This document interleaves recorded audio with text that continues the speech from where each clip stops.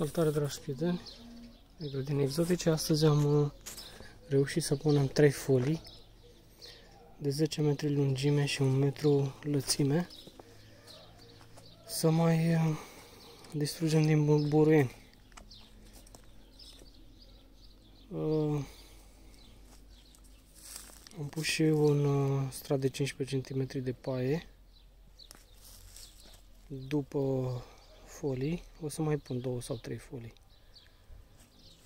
Dar în principiu aici e moșmuna. Anul ăsta o să facă destul de mult. Aici este un uh, gutui pitic.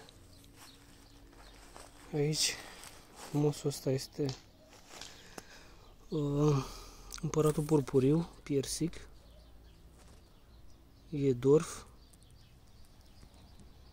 adică crește mic. Aici am, uh, pentru că nu am prea mult spațiu, un cais pitic cu două șarpante pe care o să le dezvolt, dar la fel țin mic, maxim 1,80 m.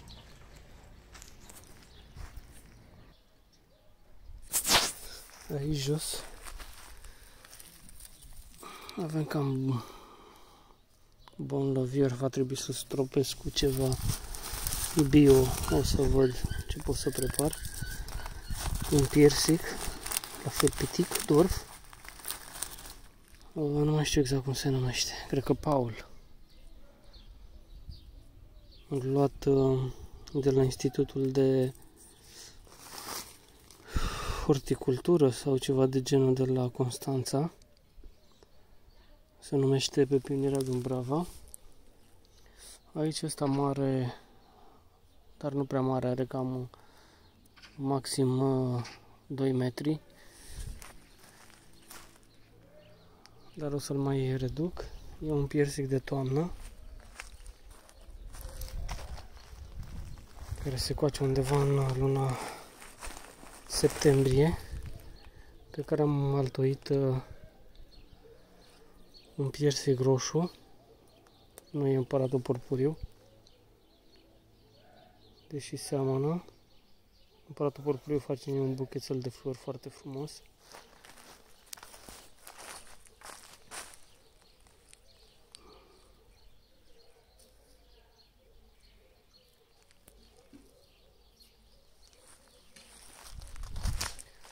Acesta este altoit anul trecut un Z. Nu știu dacă se vede altul Deci pe piersicul ăsta normal. E un piersic roșu. Nu știu exact ce specie Și cam până aici, unde mai am uh, sub formă de palmetă un uh, dud, un alun micuț care are o altoire, e unul mascul și unul femelă. Acesta parcă e masculul și această femelă. Sunt altoiți jos. Este o pisică de aici a vecinilor. Aici un, uh, coac, un uh, coacăs, cred că e, Ioșta, dacă nu mă înșel. Aici încă un coacăz alb. Uh, sunt, ambii sunt pe tulpină înaltă. Sunt altoiți aici. Și acesta aici. Acesta mai are un pui pe care o să-l scoatem. Și acesta este un jujub. O să vă vorbesc despre jujube, sunt uh, una, una dintre preferatele mele niște fructe extraordinar de bune și cu o consistență extraordinară. Se mai numesc și măsline de toamnă, uh, nu, măsline de Dobrogea. Acesta este un aronia viking, soiul, care în fiecare an a fost plin.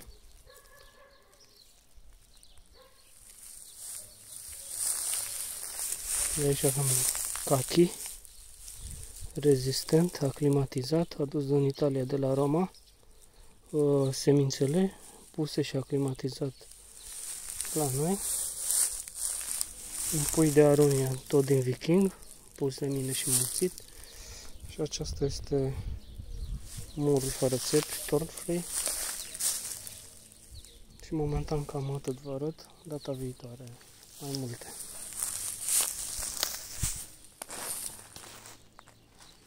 Trebuie să scăpăm cumva de buruienile astea și asta e cea mai bună idee pentru perioada asta. Presupun că după un an sau doi o să le dau jos și o să pun doar paie printre pom sau mulci de lemn tocat. Wood chips se mai numește. Toate cele bune vă doresc, prieteni. Să ne reauzim cu bine și să ieșim sănătoși din această pandemie.